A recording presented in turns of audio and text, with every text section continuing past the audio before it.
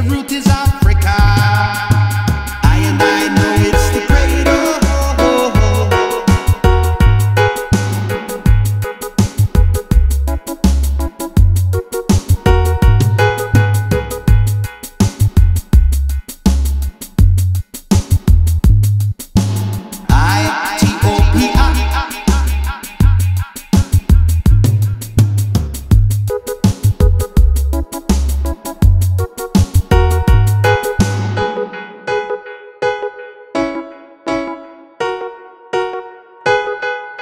It is the land of the Lion of Judah.